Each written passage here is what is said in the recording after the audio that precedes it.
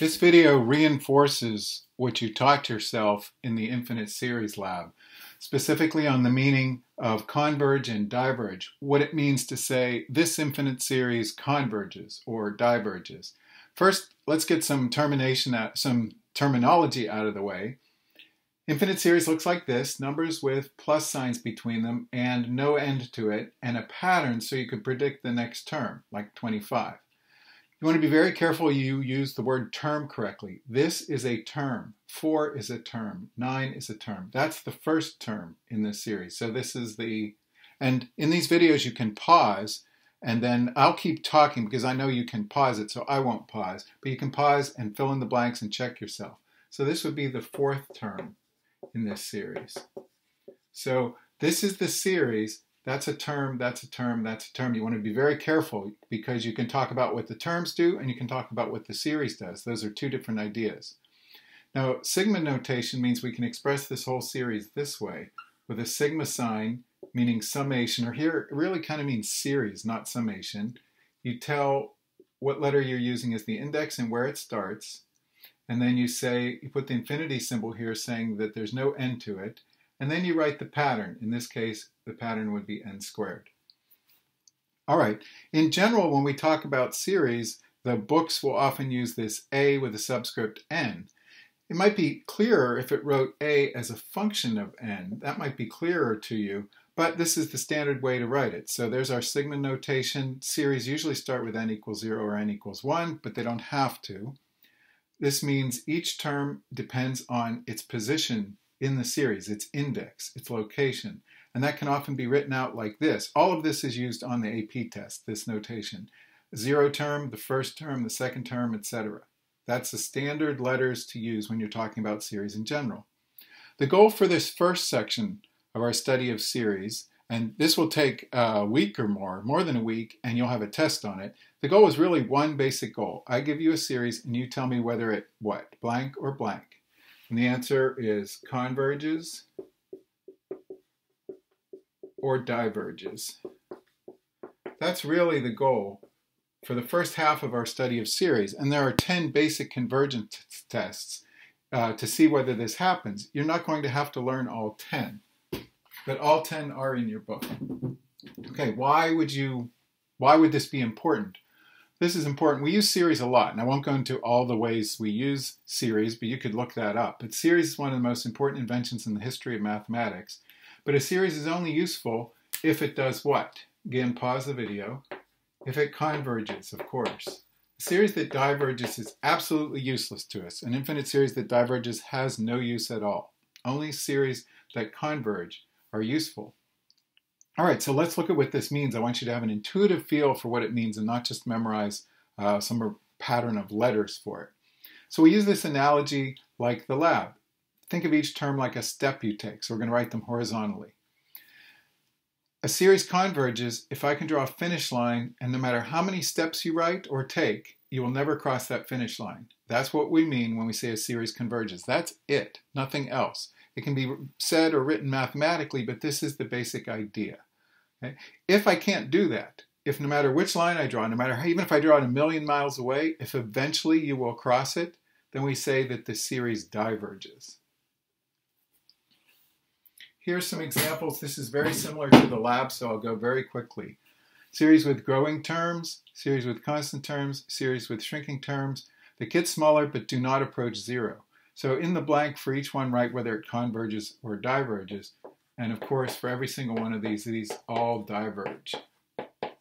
There's no way I can draw a finish line that you can't cross with any of these. Now, this is the one that people often get wrong because they hear the words shrinking and they think, oh, okay, the terms are shrinking. Maybe it could converge. But they're not shrinking to zero. So notice, compare this series and this series. Here the terms are shrinking, but they're not approaching zero. In fact, they're approaching two. So that means every step of this series is bigger than every step of this series. So if this series diverges, because if you take two footsteps over and over again, you'll cross any finish line, then this one has to diverge too. Don't get misled by the word shrinking.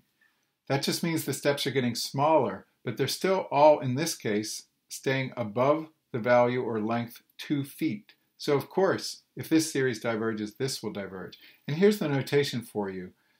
The individual terms, see, that's not a series. There's no sigma. That does not mean series. That means the individual term, the nth term.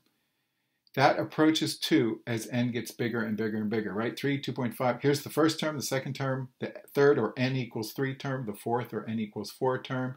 And as n gets bigger and bigger and bigger, the individual terms approach 2. See how that's all different from talking about the series as a whole or the sum. We're talking about the individual terms. All right, let's look at the one in a different color here in blue. Here's the case where the terms are getting smaller and they're approaching 0. When this happens, see if you can fill in the blank. All right, if you wrote converge, that's not true. It doesn't prove it converges. What you say here is maybe. That means you don't know anything yet. This is letting the series through the first test, but it has to Uh, undergo another test before we can prove whether it converges or diverges. I make the analogy this is like the initial thing that the TSA does to you at the airport, which is just look at you. And if up here, these are the cases where the TSA sees a gun on your hip or in your hand, sees a gun in your hand, you immediately get arrested and kicked out. the series diverges. If they, this is where they don't see the gun in your hand, right? That doesn't automatically mean you're free to get on the plane. They might find the gun in your purse, right? They might find it hidden on you. So all this can say is maybe. This is the TSA visible gun test. This rules you out. This does not rule you in. It just means we have to apply more tests to the series to see if it converges. Right, here's the conclusion. If the individual terms don't shrink towards zero, as n gets bigger and bigger. So if they don't shrink towards zero, that means these series, then the series does what? the answer is the series diverges. If the terms don't shrink to zero, notice that they have to shrink to zero to pass this first test. So if they don't shrink to zero, then we know for a fact the series diverges, it's useless, and you're done, stop, write diverge, and there's nothing more you can do with that series. Okay, so that often leads students to a question, wait, if the series terms do shrink to zero, doesn't that automatically prove it converges? How is it possible for the terms, the steps, to get shorter and shorter and shorter and get closer and closer to zero, but the series diverges? How is that even possible? And there's a way to show that, uh, I think, very simply and intuitively. Think of it first. The general idea is each time you take a step, you're adding more distance. And the terms are shrinking now. We're only looking at these series with the maybe. They might converge. The terms have to shrink faster than you're adding. That's the basic idea. You keep adding. The bad thing is you're taking more steps and adding more distance. The good thing is the steps are getting smaller. Well, if that second good thing happens faster than the first bad thing, then the series will converge. To think of this, now this was not in the lab. Um, instead of thinking horizontally, now we're going to think vertically. Think of each term like it's a block, like you're a child playing with blocks and you're going to stack them. The series will converge when you make this stack. Each time you take a stack, like here's the first block, this add the second block, the third, the fourth, you're making a vertical stack. The series will converge if no matter how high, no matter how many blocks you put on the stack, no matter how many blocks you add, no matter, no matter how many terms, if I can make a ceiling that the stack never never reaches. So it's the same idea we had before with the finish line, but you turn it vertically. So instead of finish line, you talk about a ceiling. Right? We'll look at two examples of that. Series number one, series number two. You can probably guess by the colors what each one of them is going to do. Here's series number one. It's loosely based on this series, where each term is 1 over the square root of n. All right, here the blocks stack vertically. One, two, three, four, five, like that. So there's the first term, the second term, the third term. And just to give you a preview, this would be called the first partial sum, this distance the second partial sum, this distance the third partial sum. See, that's not, a partial sum includes all the terms up to that point, right? So now if we graph, that means S for sum, the nth partial sum. If we graph what we have so far, when n equals 1, we only have a stack this high. When n equals 2, we have a stack this high. n equals 3, we have a stack this high. And n equals 4, we have a stack this high. And this graph is supposed to look like this. This is approximately the y equals square root of n graph. Right? Does, can you draw a ceiling that this graph will never cross? Can you, does this graph have a horizontal asymptote is another way of looking at it. And the answer is no. There's no possible ceiling. You know that square root graph very well. There's no possible ceiling to this graph. So it's possible for the, see the terms are shrinking. They're getting closer and closer to zero. They're shrinking. Um, this would, this series would shrink. The terms would get closer and closer to zero, but they don't shrink fast enough. So if you graph their partial sums, you get this kind of graph. No possible ceiling, so this series what? This ceiling, series diverges.